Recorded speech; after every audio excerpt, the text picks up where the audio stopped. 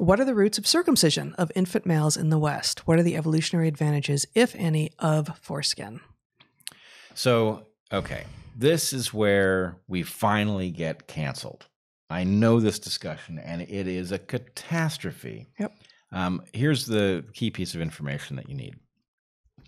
Um, I have deployed years ago now on my channel something that I used to teach from, which was the adaptive test, a test to tell whether something should be assumed to be the product of adaptive evolution. And it consists of a diagnosis of whether something, a characteristic, a behavior, or a structure, um, is complex, whether it has uh, a cost, whether that cost can be reduced, and yet it persists over evolutionary time.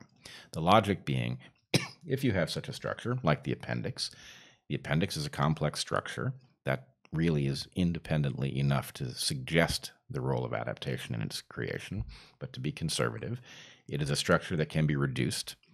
Um, so that is to say that the expense that goes into the appendix can be reduced over time, and yet it persists, which implies that it is paying the cost of it. And as we discussed last time, in the case of the appendix, that would also be the risk of having it. And therefore, the adaptation is of a magnitude that we can approximate, even if we don't know what the advantage is. Now, the reason I go through that is that in the case of the foreskin and circumcision, they both pass the adaptive test, which is to say, the foreskin was built by adaptation. It has a value that more than covers the cost of its production.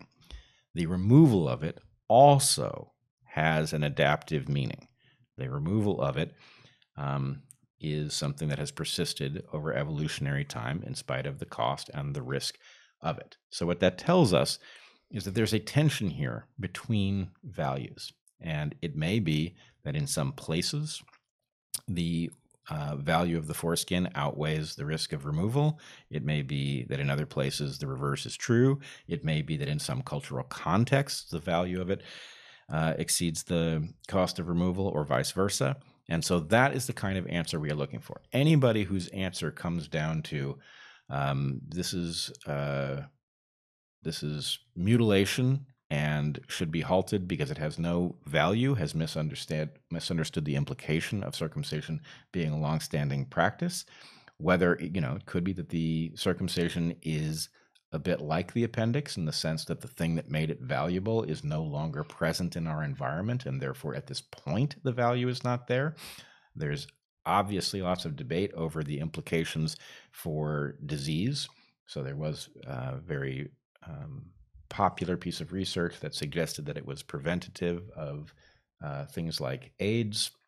It may be that hygiene compensates for that advantage. It may be that that um, that data did not indicate what people thought it did, that the methodology was no good. So it is a very complex environment. But the thing you want, look, if you're going to walk away from the DarkHorse podcast with something to say on this topic that will make you um, more enlightened than other people, it is that both the foreskin and its removal are adaptive right? That doesn't tell you which context you should expect preservation versus removal, but it does tell you you're looking for something at least complicated enough to deal with that set of truths.